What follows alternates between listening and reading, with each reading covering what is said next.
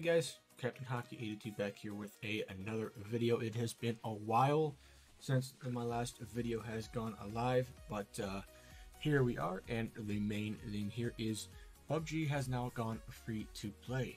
Uh, there's a lot of new features, a lot of interesting things going on, so I thought I'd take a, a 5 10 minute video and go over what's new uh, for anybody that's that's new to the game, any of the new guys, people that just bought the game and I'm trying to figure out the settings or, or the modes. So we're going to go through that a little bit here in this video and just kind of go over the basics and then hope maybe some in the future we'll be doing a, couple of different video series in terms of actual gameplay and stuff like that. So this is the first screen you now load into when you start the game up. Um, so you get the options down here where this is the actual regular game mode. So you have the solo, your uh, TPP is third person perspective, FPP is your first person perspective. I know my webcam is in the way, so um, so you get your duos, squads, and then this is solo squads. So if you just wanted to go and play it by yourself in squads, so 1v4, you can do that. Um, this is a bit if you're in third person, there you can select a random map, or you can do casual mode, which is mostly bots with a little. Let's see, casual mode is 12 players with 88 AI, Erangel, solo squad, one man squad, 12 player max, third person only. Or in third person, you can get the random map and you can play solo or squads or solo squads. You cannot play duos on third person. To do that, you would have to use FPP or first person. Right now, all you can do is the rotation of random maps between Erangel, Miramar, whatever I can't remember the rotation is at the moment, but it's Vikendi, uh, Taego, all those are there. And you just hit start. You get a little counter down here, and you would wait to the match to start. But the normal thing I always recommend when you first open games in any game is you go up here to the system menu, which is the little cog wheel up on the top bar. We'll go over these in a little bit here. First thing's going to stop here and to settings, switch again. Uh, bye bye. All right. So you have the resume settings, key guide, restart lobby, and exit to desktop. The key guide is simply it shows you a quick over overview of what page. You can't actually change anything here. It's just default uh, keys uh, and we're going to settings, the first screen that comes up. As for lighting, graphics, audio, controls, key bindings, and gameplay. Graphics pretty self-explanatory. If you want a borderless, full screen, windowed, your resolution. I play in 2560 by 1440. Um, if you want to cap the lobby FPS to 30 or 60 or unlimited, I do actually tend to have it on 60 just so it plays a little smoother in the lobby. It's wasting uh, capacity when unlimited, but up to you. Uh, and then in game, once you're actually in the game, you can turn it to unlimited, display based, or custom, where you can set your maximum if you want. I just leave that to unlimited, easy enough. Uh, I keep the smooth frame rate disabled uh, brightness I have mine set at 71, but again, you can set this to whatever you want to make it more comfortable to you. You can also change this setting here to disable. And so you can actually go here in each map that's in rotation, you can change the brightness on that specific map. So if you say that, you know, the Miramar needs to be a little brighter, you can go and crank that up. I usually just leave it to uh, universal brightness. Uh, render scale, leave it to 100 for the most part. If you go up higher than 100, you know, affect your performance, and if you lower it 100, even affect the quality. Uh, 100's a good number. FPP, I this is not set to the default. I think is 90. I want to say I always crank mine up to the max on this. And then the actual graphics settings, there's low, ultra low, or, or very low, low, medium, high, ultra. I think mine custom, and then as you see here is what I have it uh, set to. I use uh, DirectX 11 or DirectX 11 Enhanced. Um, I've tried the DirectX 12, but it's still in the bit as indicates here. and it's not a test extensively, and it does tend to cause instability. Keep in mind, if you change this one, you have to restart the game for it to take effect. Uh, that is it for the graphics and the audio. You get your basic, your master volume, um, music, you can disable it or enable it, and same thing, UI, gameplay, um, weapon sounds, it's added new weapon sounds for some of the guns. I have it set to Legacy, which is the original PUBG 1.0 sounds.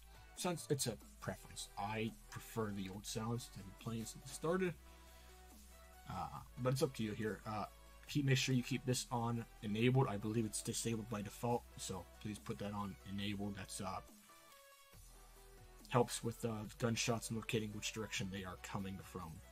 Then uh, push to talk, you can just change it as you you wish.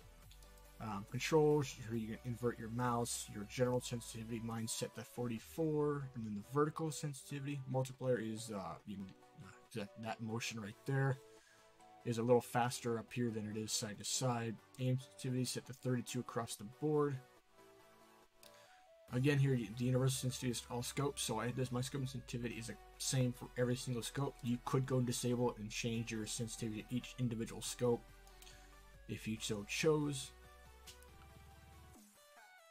And then you have your you can either toggle to crouch or you can hold. So if you hold, you'll crouch and let me go. You'll come back up. Same thing with prone, uh, walk, all that kind of stuff. You can mess with it as you want. Um, you get your key bindings, so you can go and rebind any keys you want. Um, if you want to see what it are, you can just kind of pause the video and uh, most of mine are default. I only changed a few. Um, but yep. Then you have your last tab, which is the gameplay, which are settings in the game. So you can. Uh, this one's just you know if you want to get into the game and you have your inventory up, you have your character. If you have this on enabled, you'll be able to see your character there. If not, if you have it on disabled like I do here, it just shows like a, a gray character. Uh, performance, so you get a performance boost out of that. Um, then you have different options for colorblind. Uh, that one, that one, and that one. I I just use normal. And then you can do custom crosshair, or you can do default, which is white. I, I set it on custom, and I use a blue crosshair, which is are these settings here will get you this one. All, preference of what's more visible for you. Uh, weapon HUD. Uh, I keep that on enabled. That just shows the weapons that are on their screen in the HUD. Uh, world map zoom sensitivity to keep it on 10. Again, this is the map. When you scroll in and out, you can change the sensitivity of that. All of these I just kind of keep on uh, whatever the default is. Uh, I do disable the on-screen key guide. If you are new, I would leave this on enabled for the first couple games. It puts on the screen on what buttons do what as a quick reminder. Um, the loot flash effect is loot on the ground will either glow or it'll pulse like a little light so it's easier to see. I leave this on pulse, it really doesn't matter. Uh, not worried about that, that's on default. Uh, yeah, if you're playing on third person, you can have the camera automatically reset to the right shoulder, latest aim shoulder, latest peeking shoulder, or reset the left shoulder. I leave this on. That's the default, I believe. Auto reload, I have to disable. Uh, so it doesn't automatically just reset uh, or auto, it doesn't automatically reload your weapon when you run out of ammo. Um, in the middle of a firefight, yeah, I don't want to have it start automatically reloading when you run out of bullets. It's easier to switch to your secondary weapon. Um, in that case, and you have default firing modes for all the weapons. When you first pick them up, you can set some to single fire, burst, or full auto. Uh, I like to keep as much of them at full auto as I can because if I'm dropping in a hot spot, I don't have to waste the time to grab a, a, an M4 and switch the fire mode from single to auto when I pick it up, and I may not have that time. So best to keep it on full auto and then change it to single if you need to. Uh, DMR is the only exception. I keep that on single fire, just because I'm not gonna. I can just what I do. Um, I do keep all these on enabled. This is uh, to auto equip attachments. So if you find that uh, an attachment on the ground, on the floor, that you can use that's compatible with your weapon, it'll automatically put it on there. Uh, makes it a lot easier than have to pick it up, put in your bag, then go into your inventory and move it over to your weapon. Um, hide helmet, you can keep this on, so it, it really doesn't matter. Um, live stream screens, if you have some performance hits, go ahead and turn this off, or or bad internet, uh, turn it off. It'll uh, make your gameplay a little better. Uh, make sure you enable this action queuing. This is a new feature they added in. Um, so if you're reloading and you go to fire, and it's not going to fire, but it will, it will fire a minute it can fire if you keep this on. So that's definitely a good thing. Um, I keep the replay uh, on so I can go back and reload through matches. If you have performance issues, go ahead and disable this. Um, that will help. Um, death cam is once you die, you'll be able to see how a, uh, point of view from your person that killed you. Uh, I just keep this to enabled. I have the statistics enabled. Not, this is not a big deal. Uh, and then you can actually save and or load your settings on the cloud so that if you have to reinstall or uninstall you can go back and quickly reload all your settings so you don't have to redo everything.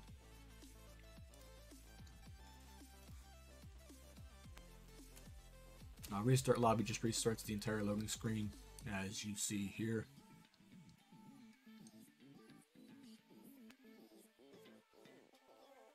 And we're back in the main menu, so I'm going to go over the top um, buttons and uh, everything else on the front screen. And then we uh, we will end this video. We'll pick up on a, another video. So down here in the bottom right is your party. You can team finder there. There's your chat. Uh, you can see all your friends list on there. You can invite your players, all that fun stuff. Up here you have play, which is your main screen we're on now. You have your career, which you can see your stats, your match histories, five weapons, medals, and then your replays as we've touched about before. Customize, you can customize your character with all the different accessories uh, that you have available and unlocked. Um, your weapon skins, you can do the same thing. Change your emotes on your wheel that you can do. Um, if you have any other skins for the vehicles, as I do not. Um, utility, all your different loot crates and kind of a thing. And then your appearance where you can change and customize your character. Make it male, make it female. Change the hair, and make it have it. And if you have multi slot, you can change that, which I do not. So then you have to save and you have to reset your character. Since we didn't make any changes, I don't have to worry about it. The hideout here, you don't have to really worry about it. It's not worth even touching. And then you have restore. That has all the different things they have available for you to purchase with the G coin, which does um, cost money, as it is explained here. Uh, there are stuff you can get with uh, the BP, which is uh, contraband coupons, and you can also get the random crates. The contraband coupons are part of the hideout, and it's just not worth it. Um, so for the most part, everything else here is going to cost actual J-Coin, which costs money, so... Um, if you enjoyed the game, by all means, spend some money on here. Um, I, I don't. And uh, up here you have the tutorial missions that you have available. Different uh, rewards you can get, so I got some of them already. These are all free. There's it's not a battle pass. You don't have to buy it. Uh, this is just a bunch of notes, and you can read uh, patch notes when they come out through this screen. Everything that's new, you get patch note screen here, which is everything that they have in this patch that just came out, which I will go over in another video. Any kind of notifications you have, any invites or anything will show up here. And then here is that cog wheel again. This one just brings you back to this screen again. where it's going to tell you you have to survive 15 minutes in a casual mode match, and then you get that reward. Down here, you have your normal mode, which is this screen. You have your ranked, which is an FPP only, and it's only in squads or solo squads. Um, and then you have your arcade, which is right now there's only an 8v8 team deathmatch in random locations in the maps. It is first person. You get like kits almost like a team deathmatch in Call of Duty or, or, or anything else.